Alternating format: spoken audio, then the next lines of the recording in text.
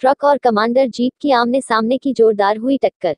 Jeep को टक्कर मारने के बाद ओवरलोड डस्ट भरा ट्रक अनियंत्रित होकर पलट गया। ट्रक की टक्कर से जीप सवार तीन लोग हुए। गंभीर रूप से घायल आसपास के लोगों ने आनंद फानन में जीप में फंसे लोगों को, को बाहर निकाला व घायल लोगों को ट्रॉमा सेंटर जिला अस्पताल इलाज के लिए भेजा गया है। घटना की सूचना के बाद मौके में पहुँची पुलिस ने ट्रक ड्राइवर को हिरासत में लिया। ग्रामीणों की मांग है कि स्पीड ब्रेकर तीन जगह बनाए जाए।